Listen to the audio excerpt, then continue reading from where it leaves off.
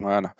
Donc bonjour à toutes et tous. Donc on est on est heureux de vous retrouver pour ce nouveau webinaire du du Club Hydrogène Île-de-France, qui est, heu, sur l'actualité, heu, forte du moment, qui est donc, le la sortie du nouvel appel à projets écosystèmes territoriaux de la de l'ADEME. Donc, je vous alors je suis désolé, je je fais l'entrée des gens en même temps. Je vais vous partager juste un petit support d'introduction et ensuite on démarre. Alors est-ce que vous voyez? Bon? Oui, c'est bon Thomas. C'est bon, super. Alors donc, heu quelques petites consignes, vous pouvez poser des questions, heu, aux intervenants dans la section questions-réponses que vous voyez Q et R au au-dessus ou sinon, heu, demandez à prendre la main et et je vous donne, heu, la parole, histoire de pouvoir lai laisser les échanges, fluides. Nous allons diffuser les supports, sur le site de l'AREC, donc on vous enverra bien un lien, avec, ces supports et nous enregistrons ce webinaire pour, pouvoir le diffuser en replay. Donc ça, c'est des choses assez classiques. Sur, l'ordre du jour qui est un ordre du jour assez resserré, l'idée c'était de qu'on aille, heu, assez vite finalement sur ce webinaire. Donc de d'abord un temps de bilan des écosystèmes territoriaux hydrogène avec un focus sur l'Île-de-France puisque nous en avons nous en avons déjà, un certain nombre d'écosystèmes et heu, avec la présentation du nouvel apo appel à projets écosystèmes, heu, territoriaux hydrogène par, heu, Thomas Berthaud de l'ADEME Île-de-France et ensuite Véronique Charbot pour compléter sur la stratégie régionale hydrogène, donc de la région Île-de-France et les dispositifs régionaux de soutien, tant à la production, qu'à la distribution, d'hydrogène, donc qui viennent, qui viennent en en complément des des aides de l'ADEME, et il y aura qui qui vont vous être présentées. Heu, donc voilà, sans plus attendre, je ah oui, je voulais juste faire un un petit, heu, rappel sur le club hydrogène parce que nous avons certaines personnes qui dans les inscrits qu'on qui n'avaient pas vu avant, heu, ce ce qu'est ce club. Donc c'est un, mmh, c'est une initiative de la région Île-de-France dans le cadre de sa stratégie énergie-climat votée en 2018 et ensuite, d'une délibération Île-de-France territoire hydrogène en 2019. Heu, donc c'est un regroupement d'acteurs institutionnels, heu, donc heu, ADEME Île-de-France, région Drieheat, heu, l'AREC qui l'anime et France Hydrogène, donc l'association représentant de de l'hydrogène, heu, en France. Le club a été a été lancé le le 6 juillet 2020, donc là maintenant on est dans la 3e année avec 3 objectifs. La la 1er objectif de fédérer les, les différents acteurs aut autour du développement de l'hydrogène. L'idée également est d'accélérer le déploiement des projets hydrogène sur les territoires et enfin de sensibiliser notamment les collectivités, les différents acteurs franciliens qui, heu, pour certains connaissent l'hydrogène, pour d'autres non. Donc à la fois en partageant les différents enjeux de la filière et les différentes solutions, qui sont, qui sont en cours. Donc nous organisons des ateliers, des conférences, des webinaires. Nous facilitons également la mise en relation entre acteurs et heu, la valorisation et la diffusion d'informations, notamment en, faisant une veille sur les projets en région qui sont, sont assez nombreux. Pour cela, on anime une page du club hydrogène sur le site de l'AREC, une page LinkedIn également avec un certain nombre d'abonnés qui permettent de diffuser assez vite les, actualités, une communauté Teams, heu, du club et heu, nous diffusons une lettre d'information dont la prochaine va être, heu, diffusée les prochains jours. Pour devenir membre, c'est très simple, c'est gratuit. Heu, il suffit de, bah, contacter l'AREC, et à partir de là, vous avez un petit questionnaire des besoins, un rendez-vous de prise de contact, généralement org co-organisé avec la région pour aller plus vite et l'idée également est de s'engager à participer, contribuer aux activités et de partager les différentes actualités. Voilà pour faire court, donc heu, Thomas, je te laisse, heu, la main. Merci Thomas. Alors je vais présenter mon écran. Hop. Hop là, normalement c'est bon. C'est bon. je un peu le mettre en en mode, heu, diaporama par contre. C'est bon? Tout est bon? Ouais, faut le mettre en diaporama par contre, pour bien le voir. Je suis en mode diaporama. Je dois Ah. avoir un petit problème. Je vais, partager plutôt mon écran et C'est bon. ce sera bon. Donc, heu, bonjour à toutes et à tous. Heu, donc, je me représente, donc Thomas Berthaud, référent hydrogène à l'ADEME Île-de-France, hein. Je suis aussi en charge des régions, heu, Hauts-de-France et et Centre Val de Loire. Heu, merci Thomas pour, heu, pour cette rapide introduction qui va me permettre du coup de de de vous présenter, heu, alors notre appel à projet écosystèmes territoriaux hydrogène dans un second temps, puisque je vais commencer par vous, présenter plutôt un bilan, de nos de nos appels à projets, écosystèmes qui ont été lancés, heu, en en 2000, heu, fin 2018 et et fin 2020. Hem et donc c'est sur ces projets qui ont été engagés sur la période 2020-2023 et donc qui, pour certains, ont commencé. Après cette première séquence, on pourra, je pense, hein, Thomas, tu tu me diras, on pourra s'arrêter pour faire un peu, quelques échanges de questions-réponses et puis, ensuite j'enchaînerai plutôt sur la présentation de la relance de l'appel à projets et donc du du nouvel appel à projets ADEME. Donc pour rappel, heu, les appels à projets, heu, hydrogène à l'ADEME, heu, ils sont plusieurs, hein. Il y en a notamment 2 hem, ma majeurs.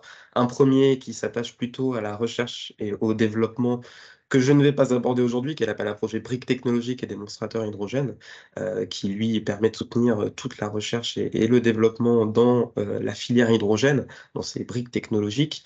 Et un second appel à projet que vous connaissez beaucoup mieux, dans ces dans les territoires, qui est donc l'appel à projet écosystème, enfin écosystème de mobilité hydrogène, puis ensuite qui est devenu écosystème territoriaux hydrogène. Pour vous faire un rapide bilan, heu, en résumé, donc ces appels à projets, ils ont été lancés dans le cadre de du plan hydrogène, heu, initialement en juin 2018, puis, heu, de la stratégie nationale hydrogène, qui a été publiée en septembre 2020. Heu et donc on a eu au total 5 clôtures réparties sur 2 appels à projets. Donc l'appel à projet, comme je le disais, écosystème de mobilité hydrogène, puis l'appel à projet écosystèmes territoriaux hydrogène. Au total, hein, sur ces 2 appels à projets, on a eu, heu, au total 35 écosystèmes qui ont été soutenus dans toute la France, heu, pour 46 dossiers de demande d'aide qui ont été désignés lauréats sur 138 qui ont été déposés. Alors là, vous voyez déjà une 1re divergence entre le nombre d'écosystèmes et le nombre de dossiers. C'est tout à fait normal, c'est qu'en plus des écosystèmes, heu, initiaux, ont été soutenus des extensions d'écosystèmes et donc qui ont fait l'objet de demandes d'aide supplémentaires. Au total, donc sur ces 35 écosystèmes et 46 dossiers, on a pu soutenir à hauteur de de de d'environ 80 mégawatts d'électrolyse, heu, d'électrolyseurs, heu, qui devraient être installés, heu, sur ces prochaines années, en France, ainsi que 8400 tonnes d'hydrogène par an d'usage qui qui vont être aidés. Heu, ça représente au aussi, heu heu, quasiment 100 stations de distribution hydrogène, qui devraient être déployées dans toute la France, ainsi que, plus de 800 véhicules lourds, que ce soit des bennes des bennes ordures, des bus, ou des poids lourds, heu heu, 44 tonnes. Ces projets représentent à peu près 1,3 000 000 € d'investissement pour une aide d'environ 320 millions d'euros. À noter que sur la dernière clôture de l'appel à projets, on a eu, heu, tellement de dossiers déposés qu'on avait, heu, 2 000 000 € d'investissements prévisionnels qui nous ont été présentés pour une aide, heu, là aussi équivalente à plusieurs centaines de millions d'euros. Donc on a dû faire un choix et ça se traduit aussi dans, le nombre de dossiers retenus en regard du nombre de dossiers déposés. J'y reviendrai tout à l'heure, mais l'un des points majeurs est que nous avons eu très peu d'usages industriels dans le cadre de cet appel à projets, avec une augmentation progressive de la taille des électrolyseurs. Donc on avait plutôt au tout début sur le les premières clôtures des petits projets qui ont grossi au fur et à mesure pour atteindre plusieurs mégawatts d'électrolyse ou, heu, des dizaines et des dizaines d'usages sur un même écosystème. Heu, aussi ce que j'oubliais de noter, c'est que, heu, évidemment sur la la répartition de ces appels à de ces projets sur le territoire, on a une répartition qui est plutôt centrée sur toutes les agglomérations, heu, importantes, de taille importante en France, avec quelques territoires qui ont été un peu oubliés et évidemment, heu, sur l'Île-de-France, une très grande concentration de de projets. Donc comme je le disais, on a eu des des des des projets, heu, de tailles différentes. D'abord, heu, plutôt inférieurs à 1 mégawatt ou proche du mégawatt, pour les premiers projets. Donc ce sont les projets les plus nombreux qu'on a pu, qu'on a pu, voir. Mais au fur et à mesure, ces projets sont devenus de plus de plus en plus importants et on a quand même réussi à avoir des projets lauréats, avec des unités d'électrolyse de l'eau de plus de 5 mégawatts. Au niveau des véhicules lourds, on est essentiellement sur des bus et des autocars, heu, ou encore des des bennes à ordures, heu, donc qui constituent, mmh, la grande majorité, on va dire les 3/4 des des usages présentés dans le cadre de ces écosystèmes. C'est intéressant à noter parce que ce cela signifie surtout que les collectivités, ont été initiatrices, des écosystèmes et donc on le voit traduit ici dans les demandes d'aide pour les véhicules. Enfin, on a eu aussi, heu, des demandes d'aide pour des véhicules plus légers sur les premiers appels à projets, on aidait aussi les les véhicules légers de type berline, donc sont, heu, on peut les retrouver ici, et les véhicules de type utilitaire aussi ont été, largement plébiscités, pour des aides ADEME. Donc on se retrouve avec, quasiment 2 500 véhicules légers en plus de ces, heu, 800 plus de 800 véhicules lourds. Sur l'Île-de-France, heu, comme je le disais, heu heu, précédemment, on a eu un une grosse densité de projets, qui s'explique par plusieurs points, mais j'y reviendrai juste après. On a eu un total d'abord de de 10 projets lauréats sur la région, dont 7 sur le 2e appel à projets. Donc heu, 3 uniquement sur le 1er appel à projets, puis 7 sur le dernier appel à projets, avec notamment 5 projets lauréats sur la dernière clôture. Ces 10 projets au total représentent environ 465 000 000 d'investissement pour 120 000 000 d'aides et donc ça concerne l'entièreté, heu, des investissements et des aides sur la partie infrastructure, production, distribution et sur les usages, heu, majoritairement du coup en mobilité. Et ça représente également, plus de 1 800 véhicules et heu, dont plus de 200 véhicules lourds. Heu, mais il est à noter que ces chiffres que je viens de vous donner sont des chiffres prévisionnels, donc qui correspondent à une réalité du projet au moment où il nous a été présenté, au moment où il a été instruit et qu'en plus de cela, heu, certains projets ont un périmètre interrégional. Heu, je parle notamment du projet Maillage ou du projet H2Pro que vous voyez, heu, mentionné ici, qui sont identifiés sur l'Île-de-France, mais qui sont aussi identifiés sur d'autres régions en France. Donc les investissements et les aides présentées ainsi que les véhicules ne correspondent pas exactement à tous les investissements ou toutes les aides qui vont être faits dans la région, qui sont donc du coup, un peu plus faibles. Heu, il est à noter aussi que pour des véhicules, évidemment, on peut avoir des véhicules qui vont circuler en dehors de la région. C'est notamment le cas aussi du projet, heu, des Beauty Trucks. Hem, en plus de ces précédents chiffres, je peux citer également le chiffre de de 40 stations, heu, de distribution d'hydrogène qui devraient voir le jour, qui étaient prévues initialement, dans le cadre de ces projets-là, à être déployées, sur l'Île-de-France avec environ 25 mégawatts d'électrolyseurs. Ce qui correspond avec un taux de charge, assez, assez important à une production d'hydrogène qui, heu, dépasse les 3 000 tonnes d'hydrogène par an. Hem, là encore, sur les stations hydrogène, on parle de stations de toute taille. On peut avoir des petites stations ainsi que des grosses stations qui sont capables d'avitailler plutôt des véhicules lourds, par exemple. En termes de de grandes tendances, heu, que l'on retrouve sur l'appel à projets, heu, de manière générale, heu, on a observé, heu, que sur les dernières clôtures, on avait, beaucoup de demandes d'aide sur des véhicules en rétrofit, par rapport au début de par rapport aux premières clôtures. Pourquoi? Parce que l'offre véhicule heu, était peut-être pas assez mature et du coup, beaucoup de porteurs de projets se sont progressivement dirigés vers des offres en rétrofit avec l'émergence de certains acteurs. Et il y a eu aussi, et ça c'est un bon point, à noter, dans le cadre des montages partenariaux, on a eu une grande une grande diversité avec une diversification des partenaires côté sociétés de projets qui viennent exploiter les infrastructures, avec l'entrée, notamment de partenariats public-privé, avec la Caisse des dépôts, des collectivités, des fois même, ADEME Investissement qui qui prenaient des des prises de participation dans les sociétés, au même titre que les énergéticiens.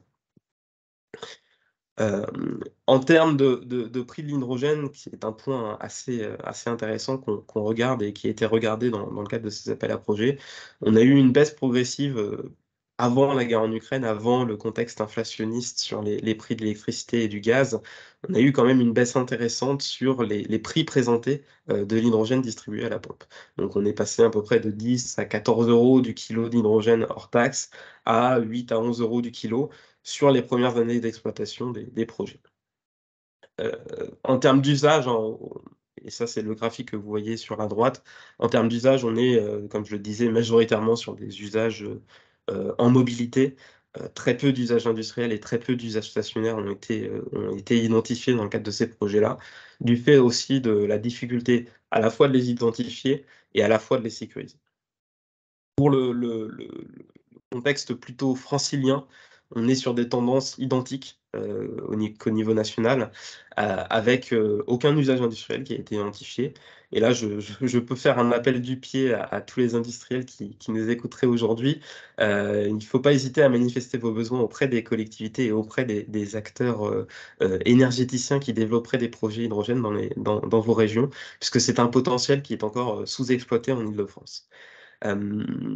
Mais ces écosystèmes plutôt mobilité euh, traduisent aussi la spécificité de la région par rapport à d'autres régions en France. Euh, où on a euh, essentiellement des besoins en mobilité urbaine et logistique, avec des projets qui ont émergé plutôt de maillage de stations plutôt que de projets d'une station unique. donc on se retrouve avec une implantation assez diffuse de stations de distribution d'hydrogène sur le territoire pour aller chercher donc, tous ces usages en mobilité professionnelle notamment ou en mobilité logistique autour des grands axes autoroutiers, autour des nœuds autoroutiers, autour des plateformes logistiques ou des plateformes euh, intermodales.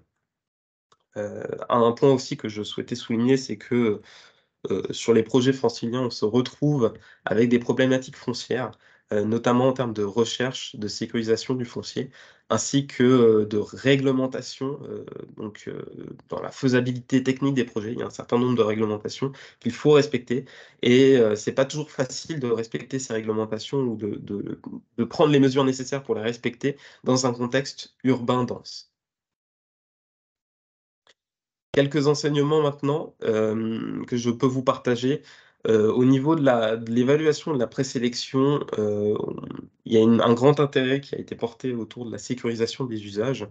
Euh, et, que donc comme il y avait des difficultés sur cette sécurisation, on, voyait aussi les projets les plus matures euh, à ceux qui, euh, qui présentaient les usages les, plus, intéressants.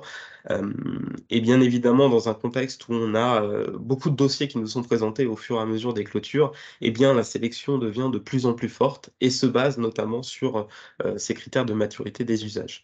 Euh, donc il y a vraiment la nécessité de préparer au mieux la candidature en amont des dépôts des projets pour identifier euh, les différents partenaires, identifier les différents usagers, et ça au travers d'études euh, de diagnostic et de faisabilité les plus précises possibles. Euh, ensuite, sur la mise en œuvre des premiers écosystèmes euh, que l'on voit aujourd'hui, il y a un certain nombre de retards qui sont identifiés euh, du fait de, de complexité contractuelle comme des conventions de mandat, du fait d'offres de véhicules qui ne sont pas disponibles, d'évolution technique des projets, de commandes d'équipements ou de difficultés techniques qui, qui, prennent plus de temps que prévu. et donc qui mènent à, qui, nous, qui, nous, mènent à réaliser des avenants sur ces projets-là pour éviter de, de, perdre les aides ADEME. Euh, donc pour éviter et pour pour éviter ces, problématiques et pour aller au mieux euh, euh, vers une réalisation rapide des projets, on identifie aussi la nécessité de, de, de, bien cibler les bénéficiaires des aides, notamment sur les véhicules, en identifiant aussi l'offre véhicule le plus tôt possible pour sécuriser en amont les consommations d'hydrogène. Euh, il y a aussi des précautions contractuelles à prendre sur euh, les différentes commandes d'équipement, sur euh, la, fourniture d'hydrogène pour éviter de se retrouver dans des situations problématiques pour la réalisation et la mise en œuvre des projets. Et donc, euh, ces enseignements hein, s'appliquent autant euh, à, un contexte national qu'à un contexte francilien euh, dans lequel on a une multitude d'acteurs qui, cherchent du coup à obtenir des, aides de l'ADEME. donc, on, vous invite, hein, vraisemblable, enfin, de la, manière la plus, plus certaine possible, à identifier au mieux les usages, au mieux les bénéficiaires et au mieux les montages partenariaux pour présenter vos projets. Donc voilà, je ne sais pas comment tu veux procéder, Thomas, s'il y a quelques questions peut-être. Euh, je ne vois pas forcément. Si, si, euh, pour l'instant, on n'en a pas, mais n'hésitez pas, euh, si vous le souhaitez, à poser des questions dès maintenant. Parce qu'effectivement, comme disait Thomas, c'est quand même une particularité assez forte en Ile-de-France, c'est qu'on a déjà une densité de projets et, et un certain nombre d'acteurs qui se positionnent sur la région. N'hésitez pas si vous avez des questions. Je laisse 30 secondes s'il y a quelques questions qui se manifestent. Sinon, je parlerai du, point tant attendu de, la relance de l'appel à projet. Euh, juste pour préciser, j'ai mis dans la conversation, on a, publié en octobre dernier euh, un état des lieux des stations euh, hydrogène en, en Ile-de-France, qu'elles soient en fonctionnement ou surtout en projet. Et comme disait Thomas, les différents emplacements proches des zones logistiques et des, des, axes de transport, euh, notamment d'ordre euh, européen, le RTET. E Alors, c'est une donnée qui date de, 2022, mais voilà, qui donne déjà une, visibilité sur euh, la région Île-de-France et les bordures, puisque nous avons aussi des projets de stations qui se placent en bordure de la région. Ah, nous avons une question de François Lefebvre. Oui, bonjour bonjour à tous. deux remarques. je suis surpris du prix de l'hydrogène annoncé à la pompe, euh, autour, de, autour de 8 euros. Euh, j'étais à une restitution la semaine dernière d'un programme euh, européen Interreg. les prix annoncés à la pompe étaient plutôt entre 13,50 et 20 euros. Donc ça, première question. Et deuxième question, quid de la fourniture de l'hydrogène en quai sur l'axe Seine? On bute sur plusieurs projets bien avancés pour des questions de non-disponibilité d'hydrogène et puis surtout d'un hydrogène au bon prix. Et le prix que vous annoncez m'intéresse diablement. Alors, euh, merci, merci pour votre question sur le, prix de l'hydrogène qui effectivement avait été euh, énoncé lors euh, de la, la, présentation finale du projet H2 Ships la semaine dernière, qui est un projet Interreg. C'était effectivement un prix de livraison de l'hydrogène à quai pour les, pour les navires notamment. Aux alentours de 13,50 euros du kilo, voire jusqu'à 20 euros du kilo, en intégrant toute la chaîne logistique et la complexité que, peut avoir la livraison d'hydrogène hackée ou voire même euh, par, un mode qui s'appelle le conteneur swap euh, pour, pour les navires. Donc ça, c'est un mode très spécifique qui inclut des surcoûts évidemment pour la distribution d'hydrogène et c'est pour ça que le coût est un peu plus élevé que, que ce qui est annoncé euh, dans ce que, j'ai pu annoncer. de la, la, même manière, hein, les prix qui sont annoncés ici, entre 8 et 11 euros du kilo sur les, dernières sur les derniers projets, sont plutôt euh, traduisent des volontés de, déploiement de, l'hydrogène à ce prix-là. Euh, maintenant, dans la réalisation euh, des projets, on a un certain nombre de problématiques que j'ai pu évoquer qui mènent des fois à rehausser le prix euh, de l'hydrogène, notamment parce qu'il est aussi lié au, prix de l'électricité et que les contrats d'achat d'électricité sont aujourd'hui négociés à des, prix plus élevés qu'ils que, qu'ils ne l'étaient précédemment. donc ce sont vraiment des prix prévisionnels à titre indicatif euh, évidemment, on observe aussi plutôt euh, post, post guerre, enfin post euh, inflationniste sur le prix de l'électricité, on observe plutôt des prix qui vont à la hausse, voire même pour la mobilité routière encore à 12-13 euros du, kilo. donc il est pas il est logique aussi de voir du 13,50 euros, 20 euros du kilo pour de l'hydrogène distribué pour le fluvial, étant donné que c'est un, moyen de distribution d'hydrogène qui est encore aujourd'hui complexe et qui, comme l'a pu être souligné euh, lors de la présentation du, projet Chips, euh, qui aujourd'hui fait face à un certain nombre de problématiques réglementaires euh, qu'il faudra lever avant de, pouvoir déployer plus amplement ces infrastructures sur les, les, quais, de, les, quais partagés, par exemple. Mmh. on, est, on est très ouvert, nous, ADEME, à avoir des, des, infrastructures de, de, distribution sur des plateformes, comme je l'ai dit, intermodales, euh, pour ravitailler un, grand nombre d'usages et mutualiser, on va dire, les usages autour d'une même unité de production d'hydrogène. Euh, maintenant, il y, a, un certain nombre de projets hein, qui, euh, qui ont des velléités de déployer cet hydrogène pour le fluvial, et donc on verra dans les prochaines années s'ils arrivent à sortir. si vous aviez suivi notamment, un avait publié l'année dernière, il me semble, voire même l'année d'avant, un, un, un AMI pour déployer des stations multi-énergie qui incluaient euh, notamment le carburant hydrogène. Thomas, je te propose de, passer à la suite. Il y a juste deux remarques sur le prix de l'hydrogène, effectivement, avec un rappel du précédent euh, AAP avec un, prix visé de 9 euros. Et quelqu'un qui remarque qu'aujourd'hui, à Port de Saint-Cloud, c'est à 18 euros le kilo. Alors peut-être plutôt même Porte de la Chapelle que Porte de Saint-Cloud, mais ah je, je, je, je, je, prends note, effectivement. Alors, c'était aussi un projet euh, qui, qui datait de, de, du premier appel à projet, donc qui fait partie de, euh, des, des, projets euh, avec lesquels il y a un prix de l'hydrogène mathématiquement plus élevé, puisqu'il y, avait moins d'usage précédemment.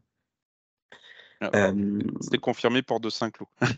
ah, Porte de Saint-Cloud, ok. bah, je, je, verrai ça de mes propres yeux ce mercredi. Merci. S'il n'y a, pas d'autres questions, donc tu peux. Oui, voilà, s'il n'y a pas d'autres mmh. questions, je vais, progresser dans, ma présentation. Je vais vous parler de, la relance de l'appel à projet que vous avez sûrement vu passer à la mi-mai. donc, nous avons annoncé la relance de l'appel à projet écosystème territoriaux hydrogène. et donc, j'ai d'abord abordé le contexte de la relance de, de cet appel à projet.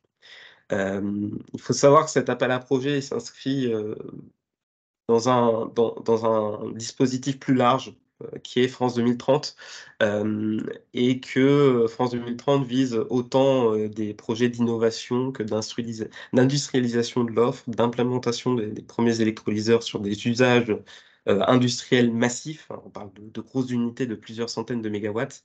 Euh, France 2030 aussi détaille euh, les, les, déploiements, enfin cible aussi les déploiements d'écosystèmes locaux. Et c'est là où s'inscrit l'appel à projet ADEME. Et il y a encore d'autres dispositifs qui doivent voir le jour. Euh, je ne vais pas vous parler de tous les dispositifs, simplement de l'appel à projet ADEME écosystèmes territoriaux euh, hydrogène, qui est aujourd'hui ouvert, au même titre que euh, la partie soutien aux études, qui est, elle, toujours ouverte depuis, le, depuis le 1er janvier 2023, qui a été relancée suite à, ce dispositif qui était ouvert sur 2022. Donc je vous invite aussi à, à, recourir à ce guichet pour réaliser des études de diagnostic et de faisabilité sur, sur vos territoires. La relance de cet appel à projet, elle intervient donc au-delà de France 2030 dans un cadre juridique nouveau euh, qui est celui des, des, des, RGEC qui sont en cours d'évolution. Euh, donc les RGEC, qu'est-ce que c'est? Ce sont des régimes généraux d'exemption par catégorie euh, qui visent à revoir, enfin qui, qui, cadrent nos systèmes d'aide à l'échelle à l'échelle de, enfin à l'échelle de, de, tous les pays européens. Ça cadre tous les systèmes d'aide que peuvent avoir les États euh, pour éviter de notifier les aides que nous, que nous délivrons euh, à la Commission européenne. Donc ça, c'est un peu des processus simplifiés de, de, de, délivrance d'aide euh, de la part des États aux, porteurs de projets. donc il y a divers, divers articles, je ne vais pas les détailler, qui, qui ciblent l'hydrogène. et donc nous, notre appel à projet se base sur ces nouveaux RGEC pour, pour, euh, pour aider plus largement les projets. Euh, et notamment, ces nouveaux RGEC, bah, ils ont un peu évolué et ils nous permettent déjà d'aider des projets jusqu'à 30 millions d'euros euh, par bénéficiaire, par projet, sans avoir à recourir à, une notification de la Commission européenne. Avant, le seuil était à, 15 millions d'euros et donc nous, nous restreignait un peu dans notre capacité d'action. Et notamment, il y a, aussi, euh, alors c'est la, slide suivante, j'en parlerai, il y a aussi des modalités d'aide qui, qui, changent. Euh, mais il est à noter que ce RGEC euh, est paru en anglais, mais il n'est pas paru en français.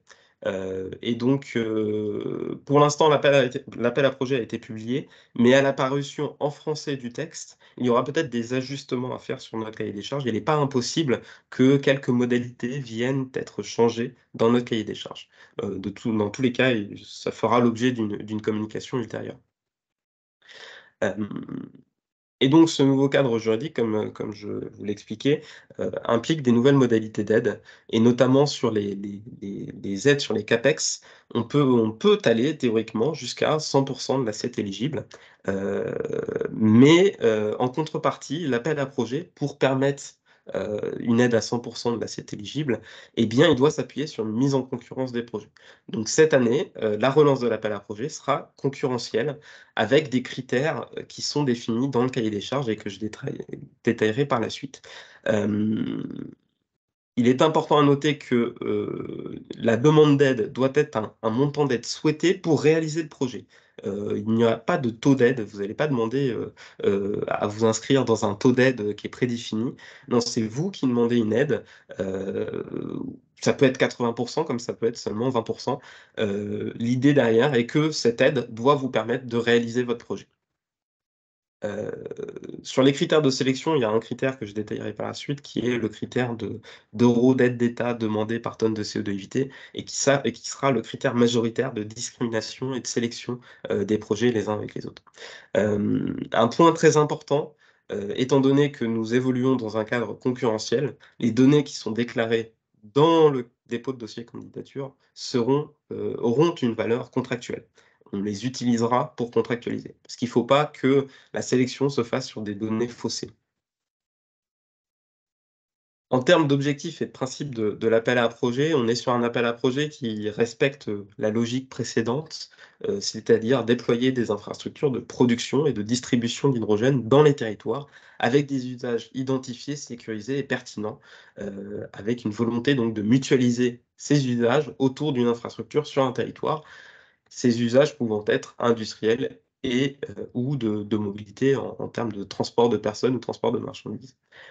Le budget de l'appel à projet est d'environ de 175 millions d'euros euh, et euh, c'est un, budget qui interviendra en subvention sur les capex investissements répartis sur trois catégories. donc vous les voyez ci-dessous. Une première catégorie réservée aux écosystèmes avec des usages majoritairement industriels, dotés de 20 millions d'euros. Une seconde catégorie euh, avec des écosystèmes, des nouveaux écosystèmes, mais cette fois-ci avec des usages en mobilité, euh, et là doté de 130 millions d'euros. Et une dernière catégorie sur les extensions d'écosystèmes, euh, où il faudra présenter des stations, des infrastructures de distribution et ou des véhicules, enfin des véhicules et ou des infrastructures de, distribution. Et là, il faudra que la consommation d'hydrogène soit de plus de 30 tonnes d'hydrogène sécurisé par an. Euh, et donc là, sur cette catégorie, nous avons 25 millions d'euros.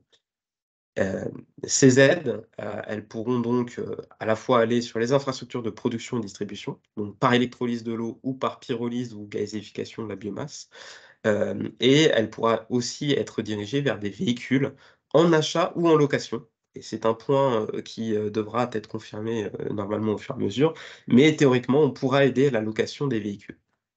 Et donc là, on parle de véhicules lourds, des bus, des autocars, des bennes, des poids lourds, ou alors des véhicules avec des usages plus intensifs, comme des, véhicules utilitaires, avec, alors là, doit y avoir une petite coquille, c'est au minimum 250 km par jour, au moins une fois par semaine. Euh, voilà, sur la partie euh, usage en industrie, euh, les usages industriels ne sont pas aidés directement.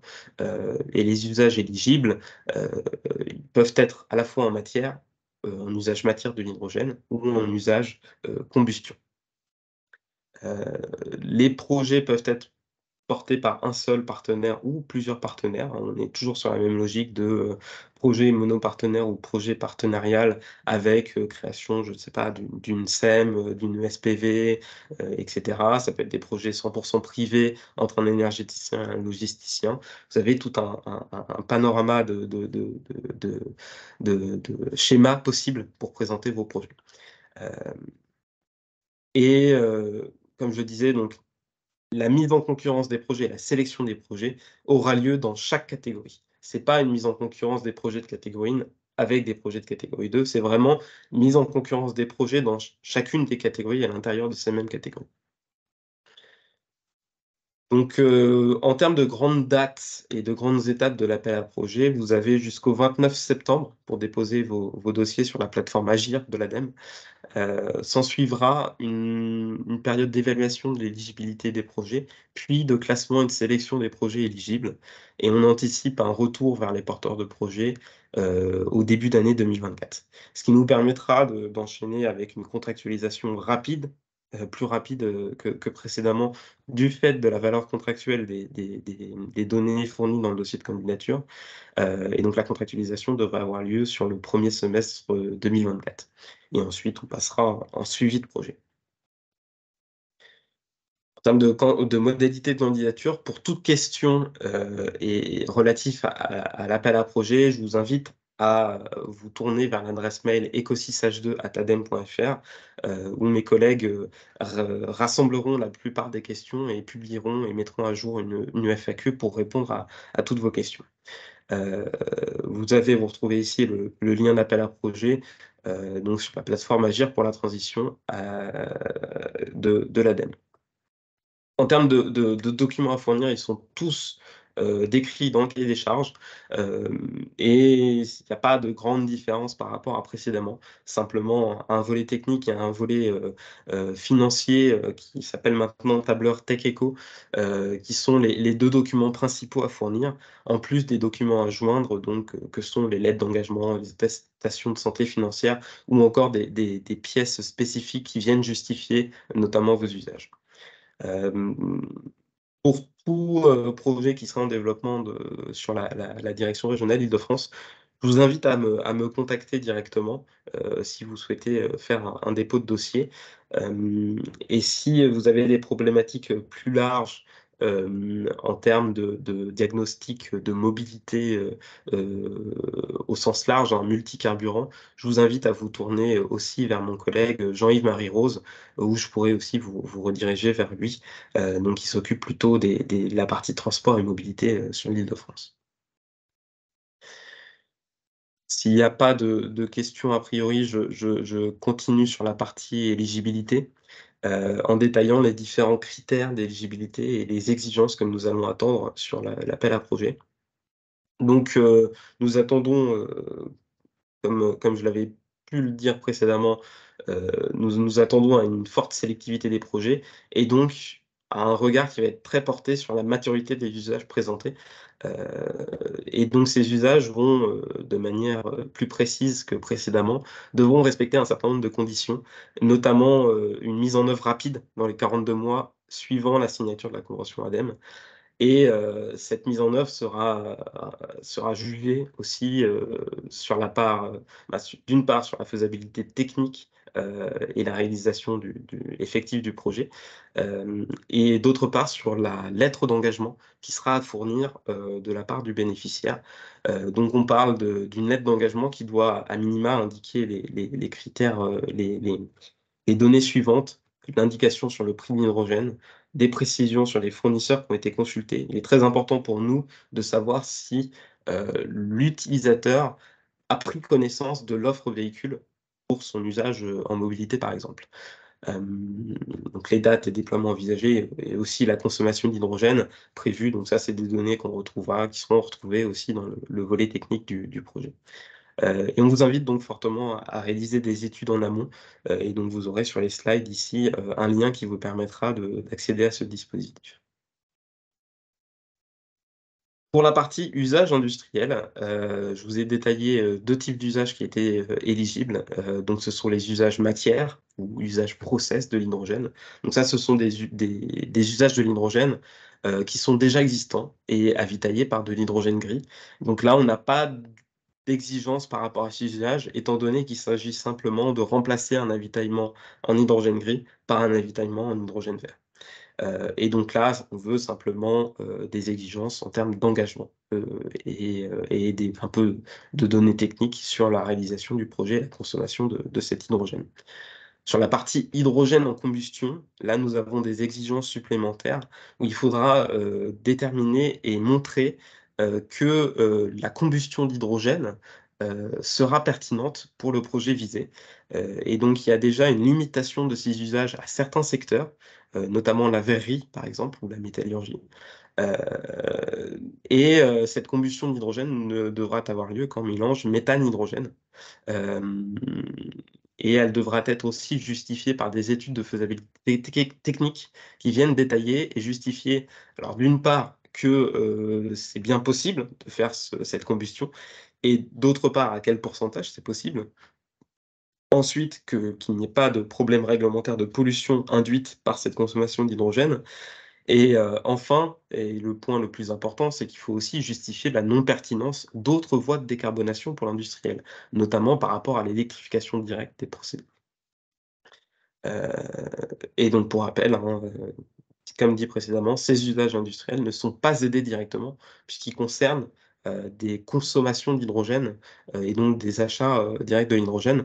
Tout ce qui est investissement dans des équipements d'adaptation pour le procédé, par exemple, pourrait être éligible, et c'est à analyser, au sein d'autres dispositifs ADEME qui visent la, décarbonation de l'industrie notamment, mais, mais c'est à déterminer dans quelle mesure et avec quels critères. Pour les usages en mobilité, euh, donc euh, tous les usages devront euh, présenter des éléments supplémentaires à joindre au dossier. Donc, je parlais notamment de diagnostic de flotte qui viennent déterminer que l'hydrogène est bien pertinent pour une partie de la flotte de véhicules pour un opérateur de, de transport.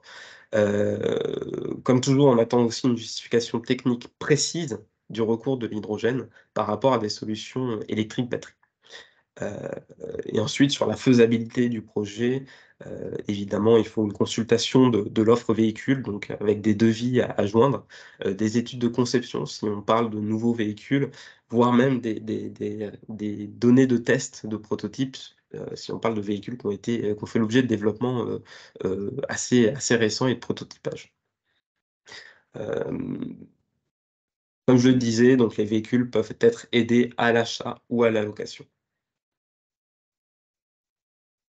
Sur la partie infrastructure, euh, euh, et c'est là où, on reste dans un schéma euh, identique à précédemment, pour les parties infrastructures de production et distribution, on est toujours dans une logique de non-surdimensionnement des infrastructures. Donc il faut identifier au moins 50% de la capacité de production et de distribution en termes d'usage sécurisé. Euh, on veut aussi une plus grande précision sur la localisation du foncier, euh, avec une idée très précise de là où sera implantée la station. Euh, comme pour les usages, on a des exigences en termes de, délai de mise en service des infrastructures qui sont dépendantes des seuils d'autorisation ou de déclaration ICPE. pour la partie électrolyse de l'eau, on va être sur des électrolyseurs non plus supérieur à 1 MW, mais supérieur à 2 MW, donc minimum. Euh, donc on veut des écosystèmes de taille plus importante que précédemment. Et sur la partie pyrolyse et gazéification de la biomasse, il faudra pas des trop grosses unités, euh, à l'inverse. donc on, cherche des unités de, avec un intrant biomasse de moins de 10 000 tonnes par an, et sous certaines conditions, notamment en respect de la, pour respecter la, filière biomasse locale. Et on, on pourra nécessiter euh, la consultation, enfin ça nécessitera la consultation aussi des cellules biomasse locales avec des interactions avec notamment la DRIAF euh, pour, euh, pour identifier au mieux les, conditions d'avitaillement en biomasse des unités de pyrogasification. sur la partie distribution, une petite exigence supplémentaire qui nous est imposée, euh, les stations euh, de distribution doivent être euh, donc ouvertes au public avec une certification du, comptage de l'hydrogène délivré. et donc ça, c'est une, exigence qui sera, qui sera ferme pour tous les projets déposés. Je ne sais pas, Thomas, s'il y a peut-être quelques questions sur la partie éligibilité. Je vois que c'est assez dense au final. Donc, euh, euh, oui, effectivement, il y, a, une question sur euh, les usages industriels. Donc, comment a été définie cette liste de secteurs? Et y a-t-il des réflexions d'ouverture à d'autres secteurs à venir? Alors, sur la liste de secteurs pour l'hydrogène combustion, ont été identifiés en lien avec mes, mes, mes collègues, enfin c'est plutôt mes collègues aux services nationaux de l'ADEME qui ont identifié, on va dire, les secteurs les plus pertinents euh, sur la base de retours d'expérience de, de, de, de, tests, euh, d'échanges avec les industriels. Et donc, ont été identifiées une liste préliminaire d'applications pour lesquelles l'hydrogène pourrait avoir un sens, euh, notamment hein, sur la, filière du verre. Hein, je, je, prends souvent cet exemple. Euh, est à savoir que l'électrification directe peut poser problème. Euh, et donc, euh, l'hydrogène peut avoir un sens parce qu'il y a toujours des besoins en combustion. Euh, maintenant, il y a des problématiques techniques qui sont liées à, l'usage de cet hydrogène qu'il convient de, lever. Et, euh, et, puis sur l'ouverture à d'autres procédés, on n'est pas du tout fermé hein, à l'ouverture de, ces usages. maintenant, on a pris d'abord une première liste parce qu'on on sait qu'on aura des projets euh, et on, a un budget restreint. Donc on sait, euh, voilà, on sait que les budgets seront, seront consommés. Mais euh, pourquoi pas, hein, en fonction des, retours des porteurs de projets, en fonction des retours d'industriels et, et, de l'évolution de la filière, pourquoi pas ouvrir dans d'autres clôtures de l'appel à projet ultérieur, s'il y en a. on pourra, pourquoi pas, ouvrir à d'autres procédés. Il y avait d'autres euh, d'autres questions Pour, l'instant, pas d'autres questions. Donc, euh, tu peux Bien, je, vais je, vais progresser rapidement. Il ne reste plus que deux slides sur la, partie sélection euh, qui, qui engendrera, elle, peut-être des sélections, des, des, questions, je veux dire. donc, la sélection des, des, des projets se fera uniquement sur la base des projets éligibles. Donc, si votre projet ne respecte pas les critères que je vous ai détaillés précédemment, le projet sera de facto enlevé de la sélection et euh, ne, pourra pas obtenir des aides. Euh, ensuite, sur les projets qui seront considérés éligibles, ils vont être classés, donc, comme je le disais, par catégorie, avec un total de 100 points sur différents critères, au nombre de 5. Le premier critère étant le plus important, c'est un critère relatif à l'efficacité de l'aide demandée. On parle ici en termes d'aide d'État. Euh, et donc, sur, euh, au moment du dépôt du dossier, vous devrez nous indiquer l'aide ADEME que vous souhaitez, mais aussi toutes les autres aides euh, que vous souhaitez, que vous envisagiez ou que vous avez déjà obtenues. et notamment toutes les aides d'État, puisque ce seront la somme de toutes les aides d'État qui, qui sera utilisée pour faire ce calcul d'euros d'aide par tonne de CO2 évité. Euh, et euh, sur les tonnes de CO2 évitées, euh, on prendra uniquement les tonnes de CO2 évitées sur les usages sécurisés qui ont bien été identifiés et jugés pertinents. Et pareil, hein, si vous avez des demandes d'aide sur des usages qui sont non pertinents, la partie aide sur ces usages sera aussi enlevée du calcul.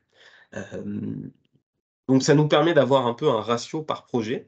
Et bah, en comparant les ratios les uns avec les autres, on pourra faire une échelle de, de 0 à 70 points euh, en fonction du projet le plus efficace et du projet le moins efficace. Donc le projet le plus efficace, donc avec l'euro d'aide euh, d'État euh, par tonne de CO2 évité le plus faible, eh bien aura 70 points.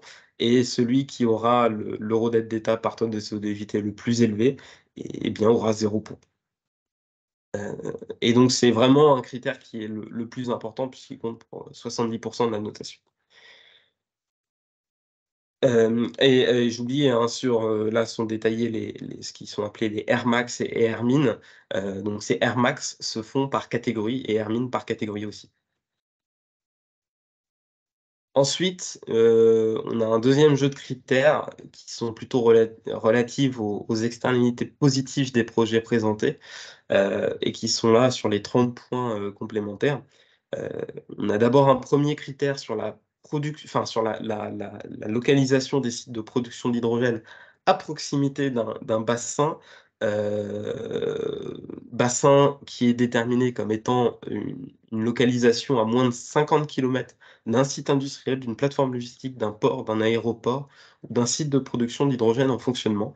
Euh, et donc, il me semble que pour ce critère-là, on se basera sur euh, des, des, des CONDAF qui sont relatifs à, voilà, à ces, à ces zones d'activité qui, sont décrites ici. Et donc, si votre projet est à, moins de 50 km par exemple de l'aéroport de Roissy-Charles de Gaulle, eh bien vous aurez automatiquement 10 points. ensuite, sur, sur les, autres points, il y a 7 points supplémentaires qui sont, délivrés sur la partie engagement des collectivités et engagement citoyen collectivité et ou PME, dans la mesure où si vous avez une participation citoyenne, vous avez d'ores et déjà 7 points, mais sans participation citoyenne, vous avez 7 points si 60% des dépenses éligibles sont portées par des collectivités et ou des PME, et 3,5 points si cette part est entre 30 et 60%.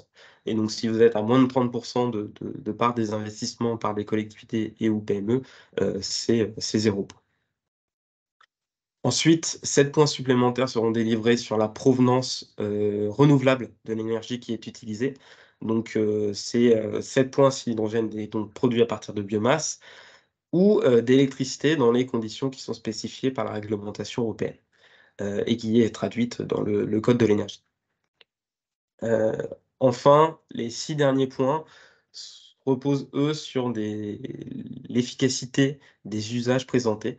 Euh, de la même manière que je vous avais présenté l'efficacité de l'aide ADEME, eh bien, un classement sera fait en fonction de l'efficacité euh, des, usages en termes de transport de, personnes ou de transport de marchandises euh, en les rapportant à l'empreinte par CO2, euh, enfin à l'empreinte CO2 de ces transports. et donc, on aura trois indicateurs distincts par projet qui nous permettront d'évaluer ces, efficacités des, usages en mobilité sur six points seulement. Et donc, ça nous fait un total de 30 points qui s'additionnent aux, 70 points précédemment, précédemment cités. Et donc, on aura euh, une catégorie euh, avec, enfin, par catégorie, un, classement des projets. Et bah, on sélectionnera autant de projets que possible que nous permet le budget à l'outil. Pour rappel, 20 millions dans la première catégorie, 130 millions dans la seconde catégorie et 25 millions dans la dernière catégorie.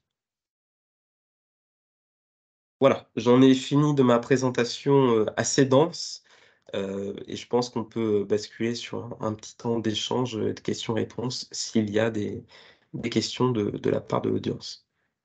il y a déjà une question qui est sur le critère de la de l'eurodette d'État sur la tonne de CO2 évitée, sur est-ce que c'est juste le CO2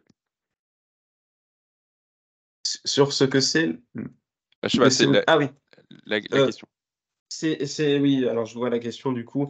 Euh, c'est effectivement uniquement le, CO2 équivalent. Euh, enfin, c'est, euh, comment? Vous, verrez dans les, dans les pièces qui sont demandées pour, le, pour déposer un dossier, il y a ce fameux tableur technico-économique qui est demandé et qui calcule automatiquement sur la base de, sources, et notamment de la base carbone ADEME, qui, qui calcule automatiquement l'empreinte carbone du projet évité.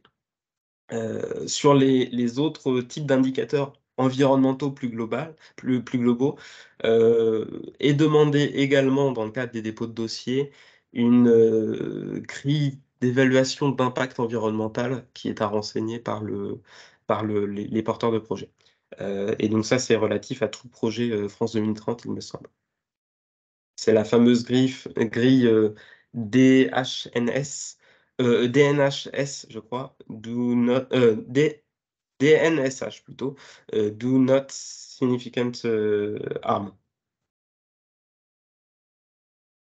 Il y a également une autre question sur est-ce que l'appel à projet sera reconduit en 2024 Je n'ai pas de certitude aujourd'hui pour vous garantir une relance de l'appel à projet sur 2024. il y a un, budget global dans le cadre des stratégie hydrogène qui a été, euh, qui a été annoncée. Euh, il est euh, réparti sur les différents dispositifs que ce soit les dispositifs de l'État, les dispositifs PCUI qui sont, qui sont opérés par la BPI, ou aussi sur les dispositifs ADEME. Là, aujourd'hui, je ne peux pas vous dire que l'appel à projet sera reconduit en 2024, mais, mais peut-être qu'une partie du budget, évidemment, de la stratégie nationale euh, sera, réservé pour cet appel à projet. Maintenant, ça dépendra de, décisions des, différents ministères et aussi de, retour d'expérience par rapport à notre appel à projet. évidemment, on aimerait bien que cet appel à projet soit reconduit pour garantir un peu de visibilité aussi pour les porteurs de projets. Merci Thomas. Donc, est-ce qu'il y a encore des questions? L'idée après, c'est qu'on passe à la suite justement avec cette, euh, cette logique de d'aide d'État euh, demandée qui euh, incorpore les aides de la région. Alors, si on a une question. le cahier des charges incite. bah attends, tu peux la lire. Je, je la lis. accès, ouais. Alors, le, le, cahier des charges incite sur la nécessité de mener une procédure ouverte, donc notamment quand il y a des partenariats publics-privés, euh, est-ce que cette procédure est valable lorsque la collectivité ne fait pas partie du, tour de table financier? Alors c'est plutôt quand on a, euh, là ça a été pensé il me semble, dans le cadre des, sociétés de projet notamment, où on a, on a à la fois des, collectivités qui, co-investissent avec les énergéticiens, où on demande à ce qu'il y ait à minima une consultation large des, acteurs euh, sur le territoire. Ça peut être sous la forme d'un AMI, par exemple. Euh, c'est aussi le cas pour tout ce qui est euh, fourniture d'hydrogène pour une collectivité. il y a des règles de, concurrence à respecter, donc on, souhaite que à minima la collectivité ait, procédé à, à, une mise en concurrence large des projets sur son territoire. On a encore une question. On a une question sur euh, les tonnes de CO2. Euh, tac, tac, tac. Alors, sur la comptabilisation des tonnes de CO2 évitées pour les infrastructures de production et les tonnes de CO2 évitées pour les infrastructures de distribution. Euh, on parle de, de, tonnes de CO2 évitées sur l'ensemble du projet. Euh, si, euh, si, admettons, euh, vous avez, enfin, c'est même plutôt, ces tonnes de CO2 évitées sont plutôt rapportées aux usages, in fine, et vont être liées aux sécurisations des usages que vous allez identifier. donc, on va comptabiliser surtout les tonnes de CO2 évitées par les usages. Euh, maintenant, on s'attend sur un même projet, et c'est pour ça qu'on appelle cela des écosystèmes, on s'attend sur un même projet à avoir la production, la distribution et les usages. Euh, on, on, essaye d'éviter au maximum les doubles comptages, et dans le cadre de, projets particuliers, de projets euh, complexes, il faudra bien se rapprocher de nous pour identifier les conditions d'éligibilité. est-ce que vous êtes sur des nouvelles infrastructures ou est-ce que vous êtes sur des extensions d'écosystèmes? C'est à déterminer. maintenant, on, est très attentif à ces problématiques de double comptage et donc il ne faudra pas présenter deux fois les mêmes investissements pour un même projet. mais, mais admettons, si vous avez des infrastructures de production et de distribution sur un projet avec des usages identifiés, il est quand même très peu probable qu'on accepte d'avoir un autre projet euh, qui a des usages sur ces mêmes infrastructures de production et distribution. On trouverait ça incohérent qu'ils ne soient pas dans la même demande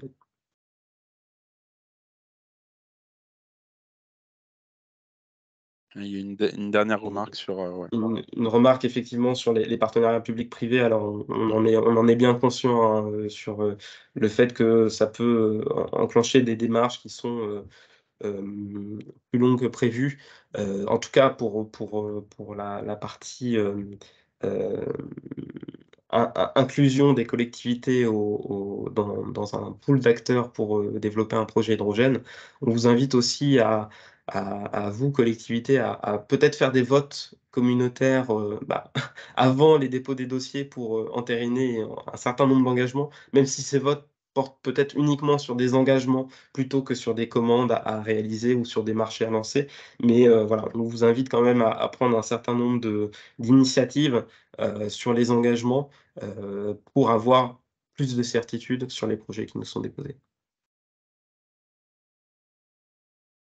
Merci Thomas. Donc je vous propose qu'on passe à la suite avec la région Île-de-France. Véronique, donc Véronique Charbot, la, chef de projet énergie-climat et référente hydrogène de la région. Véronique, c'est à toi. Si tu veux, je partage ton support. Euh, oui, bonjour à tous. Est-ce que vous me voyez correctement? On te voit. Et m'entendez? Très bien. Euh, ben, je vais prendre euh, la, suite de Thomas qui a quand même déjà beaucoup, beaucoup présenté sur, sur les différents axes que, qui est réservé à la filière hydrogène, c'est-à-dire une, une utilisation intensive des, usages quand même qui, sont en cohérence avec les installations de, production et, de, distribution. Donc ça, c'est une, attitude qui, est, régionale et qui est aussi nationale pour, le développement sur les mobilités.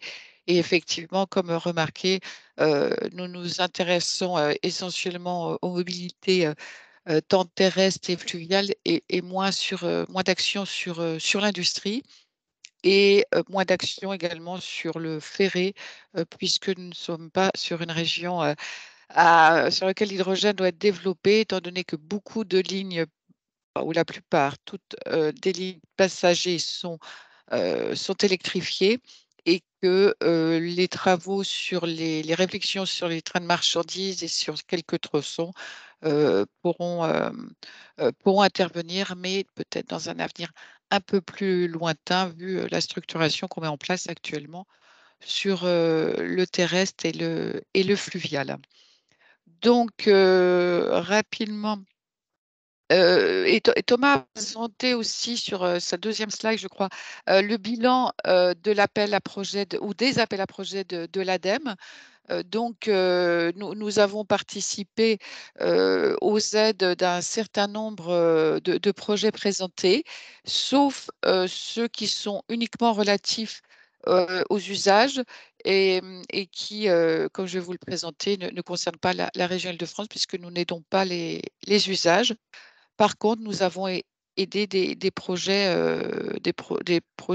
complémentaires que je vais vous, sur un projet qui n'a pas été aidé par l'ADEME en production, distribution et des projets plus dans, l'innovation, ce qui peut correspondre un peu plus aux, briques de, de l'ADEME, mais sur un, un positionnement plus, plus régional et uniquement régional.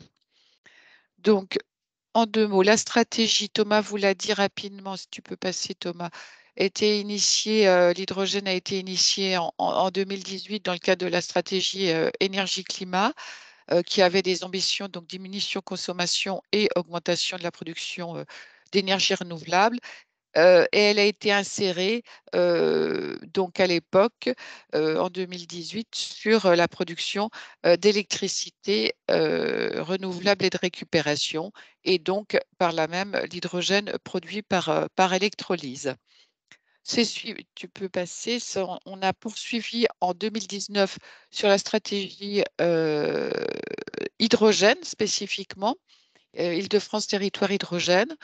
Euh, avec deux euh, axes majeurs. Donc, euh, l'axe qui nous vaut le plaisir d'être là aujourd'hui, donc du, club hydrogène, et l'axe d'un AMI d'innovation et de structuration de la filière hydrogène. Le premier axe était de faire rencontrer les différents acteurs, qu'ils soient publics, privés, collectivités, producteurs de, matériel, puisqu'on avait conscience que c'était une filière qui faisait intervenir un nombre d'acteurs importants qui ne se connaissaient pas. Donc, le, but du club était effectivement de faire des espaces de, d'échange, initialement présentiels, mais le Covid a un petit peu arrêté tout ça. Mais le mérite du club, c'est qu'il a démarré quand même en distanciel et, se poursuit aujourd'hui. Et l'AMI avait pour but effectivement de, travailler sur un maillage judicieux sur une interopérabilité des, stations, sur les moyens de paiement, sur les moyens d'avitaillement pour, travailler à un développement cohérent. On a pu aider très en amont, par exemple, les réflexions la, plateforme Phoenix, qui, gérée par GRT Gaz, propose à, aux opérateurs gaziers européens mondiaux de tester l'étanchéité des canalisations rétrofitées entre le méthane et, l'hydrogène, étant donné que l'hydrogène est, une molécule beaucoup plus, beaucoup plus petite, où on a pu aider Fill Drive, qui est une, société qui, qui est plus dans l'informatique et autres outils, qui relie les, les, véhicules avec, euh, avec les, stations euh, qui fait la, communication entre euh, l'avitaillement et, et, l'équipement. nous avons également une aide aux véhicules, aux véhicules propres, pardon, mais qui intervient sur sur, du, sur du véhicule de, comment dire, de, de PME et d'artisans qui n'est pas propre à l'hydrogène, mais qui est propre plutôt aux, véhicules électriques et, hydrogène. Je ne développerai pas plus ce, dispositif parce qu'il est en cours de réflexion pour une prochaine évolution et mise au vote de, de, nos élus. Nous avons également, et ça Thomas on l'oublie souvent, un dispositif d'aide aux études, aux études en, général, euh, qui, euh, qui sont sur, sur sur des études de, faisabilité et autres, pour, euh, pour les aides vont sur, sur tout type d'énergie ou de vecteur, ou de vecteur énergétique. Donc, on est qualifié d'aide d'État hein, sur la présentation de Thomas. les, les, aides régionales sont des aides d'État. Et aujourd'hui, euh, les aides au titre de l'appel à projet euh, électricité renouvelable sont de, la production et distribution d'origine renouvelable et de récupération, bon, avec, euh, avec garantie, puisque notre production d'énergie électrique renouvelable sur, sur la région est, est, assez, assez faible d'un point de vue. Et puis d'autre part, la position de la région, c'est s'il y a une production d'électricité renouvelable, on ne la destine pas forcément à, l'hydrogène. Je veux dire, elle, peut avoir d'autres usages directs à l'électricité et autres. Donc ça, c'est aux porteurs de projets de voir. Donc on aide, l'aide est de 2 millions maximum d'aide sur un, maximum de, 30% qui correspond maximum à, à 30% des, des investissements considérés. je, concernant l'AMI, on est sur une aide qui, si tu peux passer, qui, voilà, qui va à 400 000 euros avec un maximum de, 30% également d'aide sur, sur les montants. Donc aujourd'hui, c'est la situation. on sait que le, le, secteur évolue énormément. Thomas l'a évoqué avec une problématique de leasing. Euh, également, euh, qui, euh, qui fait que il est, le leasing n'est pas, n'est pas complètement opérationnel sur des aides à l'investissement. Je vais passer en fonctionnement et la région Île-de-France a très très peu de, de budget de, de, fonctionnement. Donc aujourd'hui, l'évolution, l'appel à projet de, de l'ADEME, le, marché qui va vers le leasing et autres évolutions fait qu'on réfléchit à, voir si la stratégie est, suffisante, s'il faut partir sur d'autres axes. voilà le, travail de fond qui, se, qui, se, qui apparaît. Aujourd'hui aussi, on a un travail parce qu'on a, on a des compétences en stratégie. Donc, il y a la révision du, schéma régional climat, air, énergie qui est en cours. Comment, comment on insère ce vecteur il y a le, le SDRIF également qui est en cours de, révision. Il y a le, plan des mobilités euh, là, qui est géré par Île-de-France Mobilité qui est aussi en cours de, révision. Et on a le, schéma stratégique et l'évolution vers les CPER sur l'axe Seine qui, est tellement, qui aura un chapitre, un chapitre région. Donc, voyez qu'il y, a beaucoup d'axes. Euh, L'hydrogène rentre maintenant dans les réflexions sur ces planifications qui sont aux horizons 2030-2050. Euh, euh, et donc, voilà les, travaux en cours que je, mène avec, Thomas et, et le club, avec les deux Thomas, et le club hydrogène. Je vois que Thomas m'a c'est effectivement le point sur lequel, le, premier point sur lequel qui est important de signaler, c'est-à-dire que la région, pour ne pas oublier les groupes électrogènes, les intègre dans les mobilités parce qu'on vise des groupes électrogènes mobiles par définition, c'est-à-dire pour l'événementiel, du tournage de, films, du, festival, et pour les chantiers BTP. Donc, on va les intégrer dans le futur, on, ne les oublie pas. Euh, on a travaillé, évidemment, on travaille beaucoup avec France, euh, France Hydrogène sur les visions 2030 euh, des régions, enfin l'ensemble des régions françaises, l'axe 7, je l'ai dit. Et puis, à, plus long terme, on voit arriver quand même une problématique très, très importante qui, est, qui sont les aéroports en terrestre et puis après sur, sur l'avion. Et l'île de France, évidemment, extrêmement, en, enfin, pas en pointe, mais à considérer vu nos, deux, trois gros, gros aéroports, Roissy, Orly et, Le Bourget. Et une présence sur laquelle on travaille avec la CCI, avec Chose Paris Région, notamment sur, sur la présence à, Evolution. Donc voilà, très, très globalement, donc on va continuer à, travailler avec l'ADEME et, et donc aujourd'hui, on est sur une aide uniquement production-distribution et on va voir comment on peut faire, évoluer l'ensemble des, dispositifs. on a aussi des aides par le développement économique, donc comment on les intègre. Donc ça concerne moins les usages, mais plus donc la production d'équipements et autres, besoins de vannes et, autres pour, la filière. Et on travaille donc avec bah, le service culturel pour savoir comment, puisque la, région aide au tournage de films, comment, comment on peut, l'intégrer. On travaille avec les transports aussi. donc, vous voyez que, que le spectre est large. Voilà, globalement. Thomas, si tu veux rajouter un mot? Merci Véronique. Bah, mmh, peut-être Thomas Berthaud de l'ADEME réagit justement sur cette logique, cette notion d'aide d'État qui comporte les aides régionales et les aides fédères.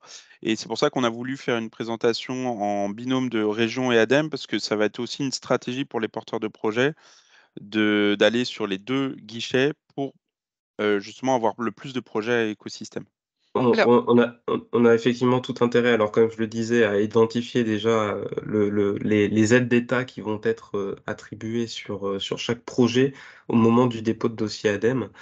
c'est important parce que nous, ça rentre dans un calcul pour une sélection de projets qui est concurrentielle. et donc, ben, on, va enfin, on va avoir une aide, enfin, une aide qui ne pourra pas forcément évoluer dans la vie du projet parce que sinon ça viendrait changer la sélection qu'on a fait au préalable. Donc il faudra être très, euh, très, euh, très euh, vigilant sur ce point-là. mais en, tout cas, et une région comme la région Île-de-France qui, qui aide quand même beaucoup les, projets hydrogène, bah, on, souhaiterait quand même avoir un maximum de porteurs de projets qui aussi bénéficient de ces aides régionales. et on essaye de travailler avec Véronique et avec Thomas pour pour euh, avoir un maximum de cofinancement sur les projets, puisque de la même manière, nous, ça nous permet de dégager du budget pour euh, aider donc d'autres d'autres porteurs de, projets. et, juste oui, le, point par rapport à ce que j'ai mis sur la, conversation, donc des aides type régionales ou aides fédères qu'on peut retrouver dans d'autres régions sont catégorisées comme étant des aides d'État et donc rentreront bien dans notre, dans notre calcul du critère d'efficacité de, de, l'aide publique. et à contrario, euh, l'aide publique type euh, CEF, donc, euh, qui est une aide européenne, n'est pas une aide d'État et donc peut être cumulée sans, problème avec, des aides sans rentrer dans le calcul. La problématique ici, c'est qu'une aide européenne ne peut pas se cumuler avec une autre aide européenne. Et sachant qu'une partie du budget de l'appel à projet provient de fonds européens, il faudra faire attention à ne pas demander deux fois une aide européenne sur le même périmètre. Un petit point de complément concernant le FEDER. Euh, j'en ai travaillé avec d'autres régions françaises. Euh, pour le moment, on n'a pas trouvé d'axe d'aide par le FEDER, étant donné que le FEDER n'aide pas les véhicules et euh, aide des petites entreprises. Et on est actuellement sur un développement de filière qui est surtout sur du gros, de la grosse entreprise qui sollicite les aides. Donc, le FEDER ne peut être actif ou activé pour, pour cette filière actuellement.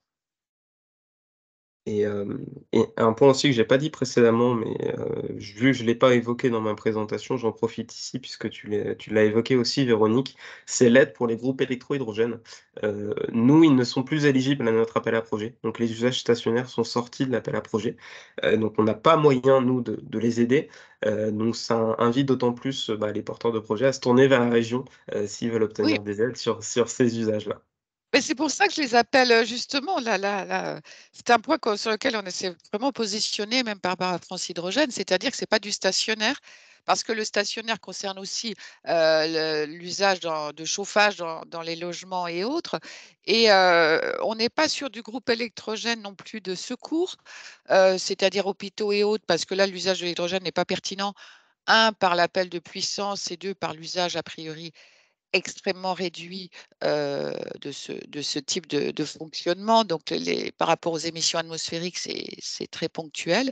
Mais sur du groupe électrogène mobile, qui a l'intérêt de, quand même du bruit, pour, un concert, du bruit, de moins de pollution atmosphérique et puis de l'odeur aussi. Donc, voilà pourquoi on est, pour moi, j'appelle ça du mobile.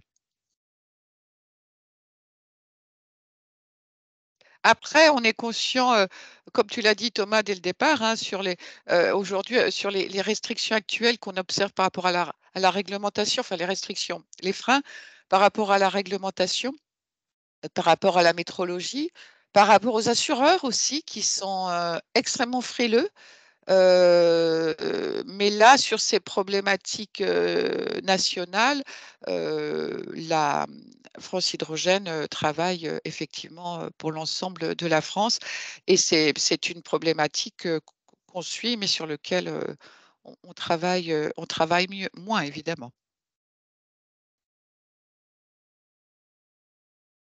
Alors Véronique, on a une question sur l'étude pour le développement des écosystèmes H2 a-t-elle été lancée pour la vallée de Seine? C'est une excellente euh, question et j'attends euh, euh, j'attends un point avec mes collègues de Normandie qui sont leaders sur le marché. qui gèrent le marché, c'est pas les, il a été pris en charge par la région Normandie. Merci Véronique. Alors on a une question de Xavier Mandefield. Oui, bonjour Véronique. Euh, en fait, une remarque parce que moi je suis AXA, je travaille pour AXA. Euh, donc vous parliez de la frilosité des, mmh. assureurs. On, est très attentif. On est très attentif et on essaye de bien comprendre physiquement euh, les valves et les boulons et les process humains parce qu'effectivement, il y a des risques conséquents, il y a des risques nouveaux. Euh, voilà, il s'agit juste qu'on s'habitue à ça, qu'on découvre et qu'on encadre ça. Nous, c'est ce qu'on fait. Euh, on, en discute également avec nos confrères. Je ne parle pas que au nom d'AXA, euh, puisque nous, on participe à France Hydrogène en tant qu'AXA, mais on emmène également nos, collègues assureurs dans nos groupes de travail à nous, côté France Assureur. Voilà, donc le monde de l'assurance se met de plus en plus au contact du monde de l'hydrogène pour justement accompagner et encadrer aussi bien que possible la prévention.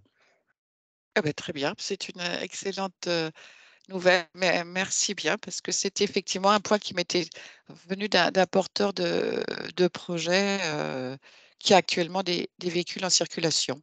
Bah, vous n'hésitez pas, on peut en reparler évidemment. Oui, on pourra, pourra développer ou avoir des idées de, de futurs points pour, pour le club. Mmh. Mmh. Effectivement. Nous, à date, euh, après je vais clore là-dessus, hein, mais à date, on intervient sur tous les, sur tous les, les moments de la chaîne de valeur, euh, que ce soit de la production par électrolyse, euh, que ce soit du transport, que ce soit de la distribution, que ce soit de l'usage en véhicule. donc on a ce panel de, on a ce panel d'intervention et on apprend chaque fois plus au contact des industriels. Donc n'hésitez pas tous les uns et les autres, on est ravis d'entendre la façon dont vous travaillez. Merci. Alors, est-ce qu'il y a d'autres questions ou remarques? S'il n'y en a pas, je vais juste vous partager pour conclure un, agenda de, l'hydrogène, parce qu'il va se passer beaucoup de choses dans les. c'est dense. Oui, c'est dense. la filière hydrogène est évidemment très active. Euh, donc, vous, aurez le support avec les différents liens. Donc, juste pour dire que le mois de juin, là, les prochaines semaines vont être très denses, enfin même déjà cette semaine, avec les, journées hydrogène dans les territoires à Pau. Donc, il y a un certain nombre d'acteurs qui, sont, euh, qui vont aller là-bas. Mercredi, l'inauguration de la station de production et de distribution de Port de Saint-Cloud, donc portée par iSetco, financée euh, par l'ADEME et la région. Euh, nous avons aussi le salon Vivatech, donc Viva Technologie, où la région de France porte un stand avec deux acteurs franciliens de, de l'hydrogène, donc avec EODEV sur les fameux groupes électrogènes hydrogène et Anywhere qui fait des petites stations de production et distribution d'hydrogène, plutôt du 40 à 80 kg au jour. J'ai été aidé dans le cadre de la de l'AMI, effectivement, des stations, de la taille d'un conteneur, d'un conteneur. Voilà. Excuse-moi, Thomas. Ah non, je t'en prie. la semaine prochaine, la ville de Paris clôture son projet européen ZEFER, enfin son, dans lequel elle est, elle, est, elle est associée, et organise une table ronde sur la, les mobilités hydrogène. Donc, les places sont ouvertes. Ça se passe à la ville de Paris. Thomas Berthaud y interviendra. Et, aussi la semaine prochaine, un, un, grand, enfin un fort moment qui sera le Salon international de l'aéronautique et de l'espace, qui reprend après, je crois, deux ans de, d'arrêt avec tout un, axe sur la décarbonation, dont l'hydrogène, que ce soit l'hydrogène directement dans les avions hydrogène ou dans la production des, fameux SAF, donc les, carburants aériens durables, qui va aussi être un, gros consommateur d'hydrogène assez rapidement le salon de la MIF où, vous aurez quelques événements mmh. hydrogène a priori, et ensuite plutôt des dates pour le second semestre, donc avec des formations proposées par l'INERIS et l'IFP Training.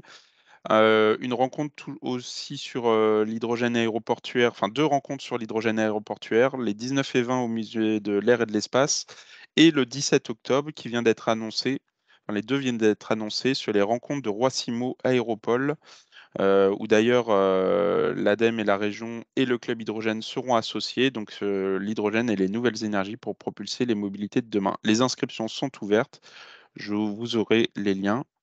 Euh, eh bien, merci à toutes et tous pour votre présence. On a tenu les timings. Je vais stopper l'enregistrement.